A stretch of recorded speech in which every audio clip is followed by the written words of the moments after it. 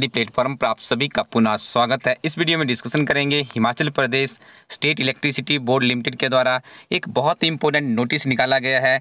इस नोटिस के आधार पे ही आपको पता चल पाएगा जो कि अठारह सौ बानवे वैकेंसीज एडवर्टाइजमेंट की गई थी। उन्हें भरा किस तरह से जाएगा? उसके लिए जो मोड ऑफ़ सिलेक्शन का प्रोसीजर है, वो क्या रहेगा?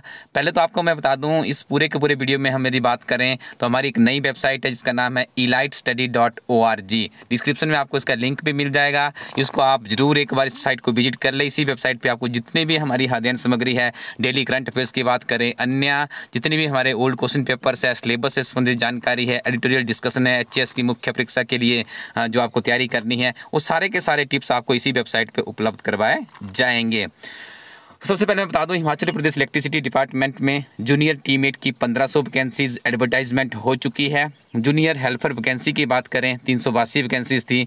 टोटल यदि हम लोग बात करें तो अठारह सौ बानवे लोगों को रोज़गार मिलना है। किस डिपार्टमेंट में मिलना है? हिमाचल प्रदेश इलेक्ट्रिसिटी बोर्ड में मिलना है, ठीक है?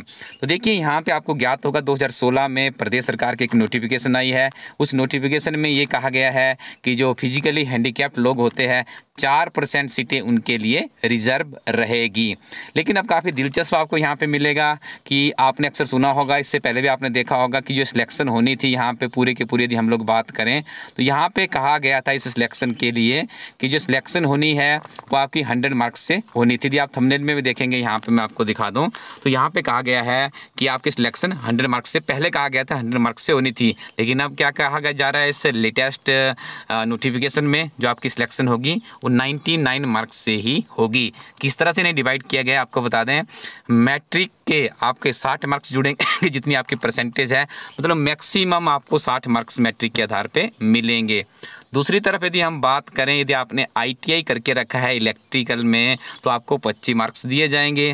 और आपको ज्ञात है, हिमाचल प्रदेश में क्लास थ्री और फोर्थ की रिक्रूटमेंट के लिए इंटरव्यू नहीं होती है। उसके लिए इवेल्युएसन टेस्ट होता है, ठीक है? ये इवेल्युएसन टेस्ट पहले पंद्रह मार्क्स का हुआ करता था, अब इसे चौदह मार्क्स का कर दिया गया है। चौदह का इसलिए कर दिया गया है, जो एक नंबर है ये किसे दिया जाएगा, जो फ़िज़िकल हैंडीकैप्ड लोग हैं, उनके लिए रिज़र्व रहेगा। मतलब जो आपकी मेरिट है, वो नाइन्टी में से ही बन बनेगी ये नवीनतम जानकारी थी और आपको मैं बता दूँ 18 वर्ष से लेकर 45 वर्ष के बीच में ही हिमाचल प्रदेश में सरकारी नौकरी प्राप्त करने के लिए एलिजिबिलिटी सरकार के द्वारा रखी गई है।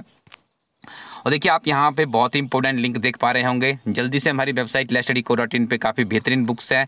इसको भी आप लोग विज़िट कर लें। हमारा यूट्यूब चैनल है, इसे आप सब्सक्राइब कर लें। उसके बाद फेसबुक पेज पर भी विभिन्न तरह के प्रश्नोत्तरी तथा अन्य महत्वपूर्ण लिंक कम समय समय पर डालते रहते हैं। टेलीग्राम के ऊपर भी पीडीएफ के लिए आप हमारे इस ग्रुप को ज्वाइन कर सकते हैं। यदि आपको इसकी ऑफिशियली कॉरिजेंडम नोटिफिकेशन चाहिए तो आप यहाँ से इसको खुद भी इसका स्टडी कर सकते हैं। इसका स्क्रीन करके या इसे आप अपने मोबाइल फ़ोन में भी सेव कर सकते हैं। आपको ज्ञात होगा, जो ये वैकेंसी वैकेंसीज थी। इसकी जो एडवर्टीजमेंट नोटिस निकाला गया था, चार छः दो हज़ार बीस को पंजाब केसरी समाचार पत्र में, दस छः दो हज़ार बीस को अमर उजाला समाचार पत्र में, ग्यारह छः दो हज़ार बीस को दिव्य हिमाचल समाचार पत्र में निकाला गया था। और देखिए कॉरिजेंडम भी यहाँ पे पब्लिश कर दिया गया है, जिसके बारे में आगे कहा गया है कि ये वैकेंसीज है। इस तरह से एक परसेंट जो उसके लिए रिजर्वेशन दी गई है और किसके लिए दी गई है, ये रिटर्न की बात की जा रही है। ऐसे ओवरऑल वैकेंसीज की बात करेंगे तो फोर रिजर्वेशन रहेगी किसके लिए? जो फिजिकली हैंडीकैप्ड है। तो यहाँ पे आप क्लियरली इसको देख सकते हैं। मोर इन्फॉर्मेशन के लिए आप इनकी ऑफिशियली वेबसाइट को भी विज़िट कर लीजिए। Thank you very much keep watching Ela study YouTube channel